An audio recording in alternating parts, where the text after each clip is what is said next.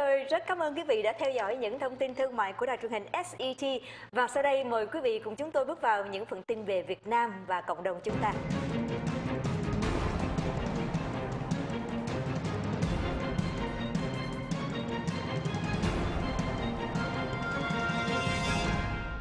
Kính thưa quý vị, YouTube và Facebook đã gỡ bỏ 3.000 clip theo yêu cầu của nhà nước Cộng sản Việt Nam. Tin đến từ Hà Nội. Sau buổi làm việc với giới chức thẩm quyền Cộng sản Việt Nam, YouTube và Facebook đã gỡ bỏ 3.000 video clips và hơn 600 trang mạng bị cho là không phù hợp và có tính chất vu khống các cá nhân và tổ chức ở Việt Nam. Hồi tuần qua, Nguyễn Thanh Lâm, Cục trưởng Cục Phát thanh Đài truyền hình trực thuộc Bộ Thông tin Cộng sản Việt Nam, xác nhận sự việc trên tại một cuộc họp. Cục trưởng Nguyễn Thanh Lâm cũng nói rằng có từ 60 đến 70% khoản lợi tức của Facebook và YouTube, Google thu được nhờ quảng cáo tại Việt Nam, trong khi các báo mạng và trong web tin tức chỉ thu được một phần nhỏ còn lại. Một số công ty thương mại ở Việt Nam còn nói rằng Facebook và YouTube đang hoạt động ở Việt Nam có số lượng người sử dụng rất đông đảo và tìm kiếm được lợi tức rất lớn, nhưng ít khi can thiệp để điều chỉnh nội dung, bất chấp sự phản đối của nhà cầm quyền Cộng sản Việt Nam. Theo Thông tấn xã Nhà nước Cộng sản Việt Nam, các công ty sản xuất và thương mại ở Việt Nam bị hạn chế hoạt động bởi quá nhiều điều khoản bó buộc. Kính thưa quý vị, họ muốn được hưởng sự bình đẳng khi được các báo mạng nêu lên. Và kính thưa quý vị, Cộng sản Việt Nam dựa vào Ấn Độ để giảm lệ thuộc về Trung Cộng, tin từ tổng hợp. Kính thưa quý vị, theo tạp chí Thương mại Hoa Kỳ cũng như Forbes, Trung Cộng và Cộng sản Việt Nam hồi năm qua đã thương lượng với thái độ ôn hòa về triển vọng hợp tác lâu dài, bất chấp sự xung đột vì tranh giành chủ quyền tại Biển Đông kéo dài nhiều thập niên qua. Trung Cộng cần hòa giải vì một phán quyết của Tòa án quốc tế hồi tháng 7 năm ngoái đã bác bỏ tuyên bố chủ quyền của họ tại hầu hết Biển Đông rộng 3.5 triệu cây số vuông mà Việt Nam cũng đang sử dụng. Phía Việt Nam muốn thương lượng vì đang lệ thuộc nặng nề nền kinh tế hoa lục, quốc gia cung cấp số lượng hàng hóa đầu cho Việt Nam trong mấy tháng đầu năm nay. Giới lãnh đạo Cộng sản Việt Nam tại Hà Nội không dám chắc rằng Tổng thống Hoa Kỳ ông Donald Trump sẽ giúp quân đội Cộng sản Việt Nam phát triển như chính phủ tiền nhiệm Obama đã làm. Tuy nhiên, nay thì Việt Nam chuyển sang thắt chặt băng giao với Ấn Độ bằng việc cho phép công ty dầu Ấn Độ tiếp tục khai thác cũng như là thăm dầu, thăm dò mỏ dầu tại Biển Đông. Thủ tướng Cộng sản Việt Nam hy vọng là trị giá giao thương giữa Ấn Độ và Việt Nam sẽ lên đến 15 tỷ Mỹ Kim vào năm 2020. Trong khi cán cân thương mại giữa Việt Nam và Trung Cộng đã lên đến 95.8 tỷ Mỹ Kim vào năm 2015, nghiêng về phía Trung Cộng. Theo Forbes, dựa vào Ấn Độ được coi là chính sách ngoại giao thông minh của Việt Nam, vì Ấn Độ có lực lượng quân đội mạnh thứ tư trên thế giới, có thể giúp cho Việt Nam chế ngự ảnh hưởng của Trung Cộng. Ấn Độ còn đề nghị bán vũ khí và huấn luyện cho thủy thủ của Việt Nam. Ngoài số chiến hạm tuần tiểu bán cho Hải quân Cộng sản Việt Nam, kính thưa quý vị. Virus sởi ho gà viêm gan siêu vi B tấn công trẻ Việt Nam tin đến từ Hà Nội.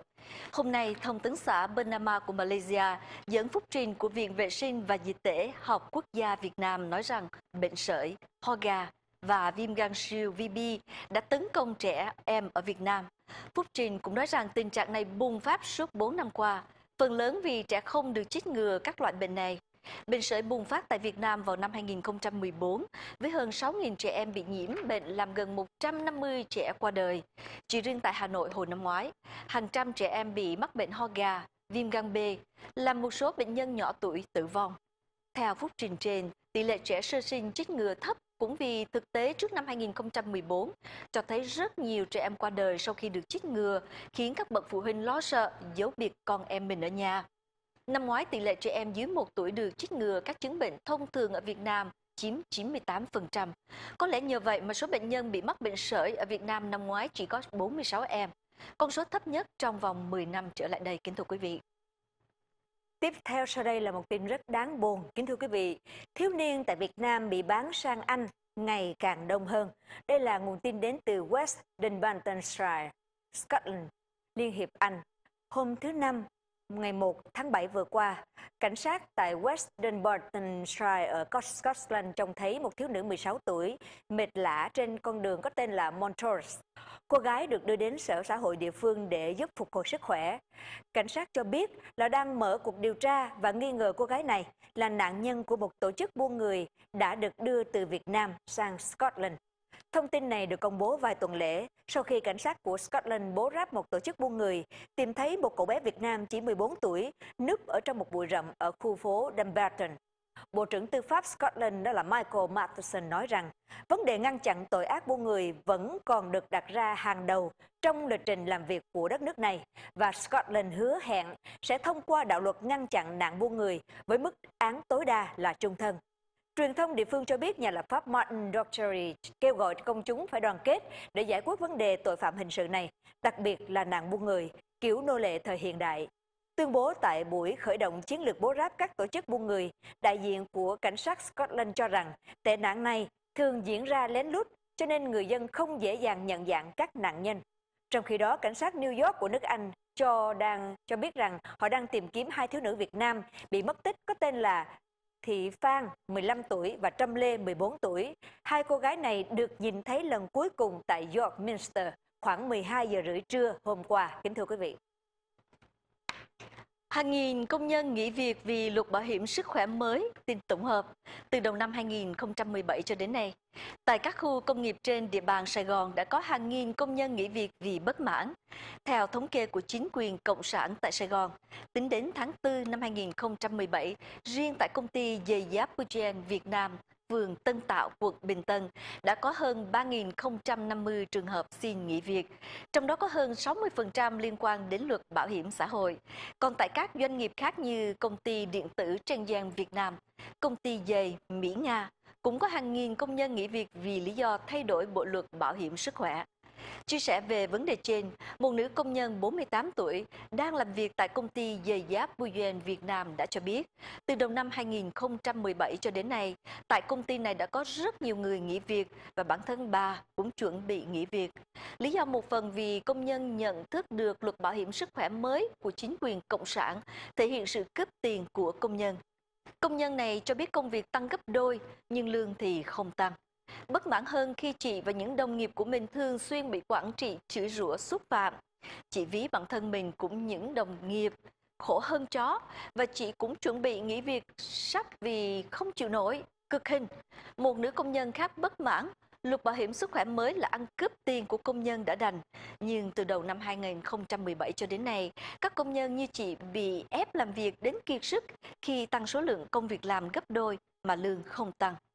Kính thưa quý vị, và có vài lần chị đã lên cơn đột quỵ khi không thể chịu nổi sự xúc phạm của các quản trị công ty, cộng với thể trạng làm việc quá sức.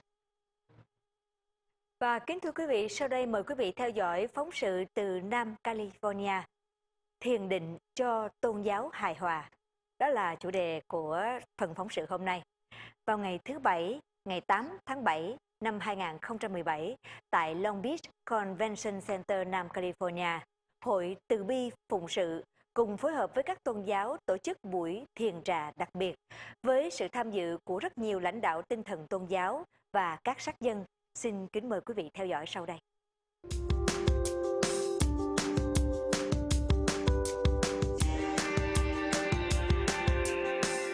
Phan Đại Nam kính chào quý khán thính giả, kính thưa quý vị. Nhằm nâng cao nhận thức và thấu hiểu cái đẹp khác biệt của các tôn giáo là điều cần thiết đem lại lợi ích cho nhân loại. Hội Từ Bi Phụng Sự do Thầy Hàng Trường sáng lập đã tổ chức buổi thiền định cho tôn giáo hài hòa tại Long Beach Convention Center miền Nam Cali vào ngày thứ Bảy 8 tháng 7 2017 với sự tham dự đông đảo của các tôn giáo, các sát dân, trong đó có một phần ba là gốc Việt. Nhân dịp này, Thầy Hàng Trường đã cho chúng tôi được biết. Cái ngày hôm nay đây mình có mời à, những cái tôn giáo khác, mình mời à, cái công giáo đó, thì cậu cha Alexis Smith, ông ngài tới, ngài dạy cho mình làm sao mà mình à, dùng cái bộ cái phương thức Electio Divina, làm sao mà mình có thể mà trợ tìm lại được cái sự hòa bình của công ty của mình theo lời thánh kinh. Rồi sau đó mình có uh, chiều nay thì là có hồi giáo.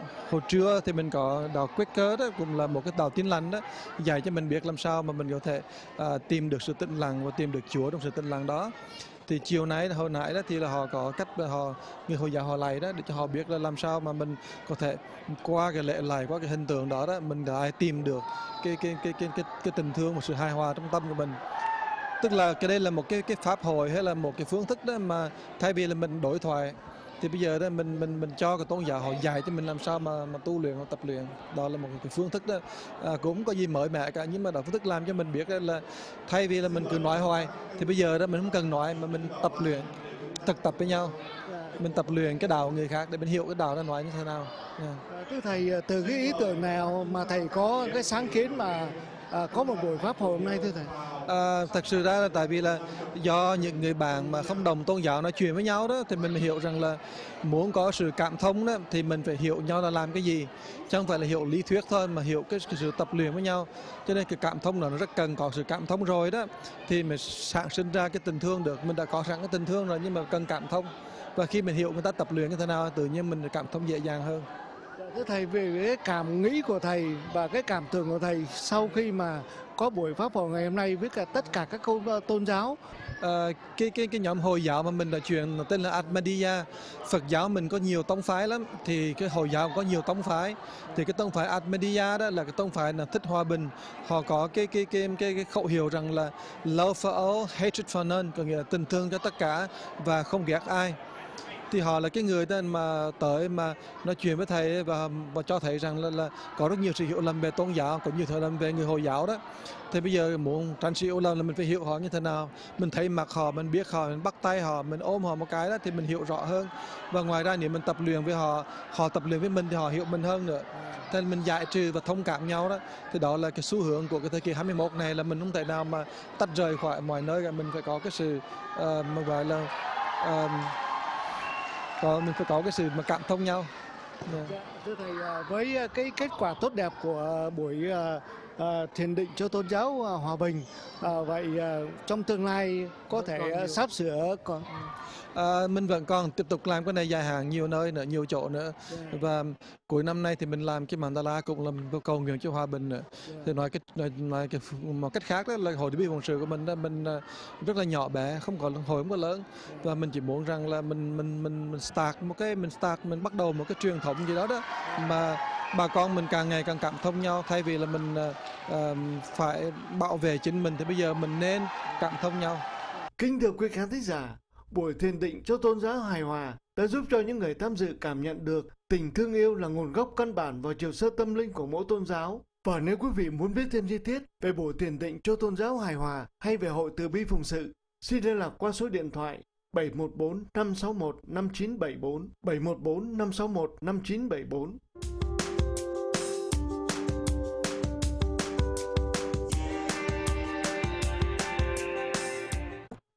Rất cảm ơn quý vị đã theo dõi phần phóng sự vừa rồi và chúng tôi sẽ quay trở lại ngay sau phần quảng cáo với những bản tin văn nghệ và đời sống.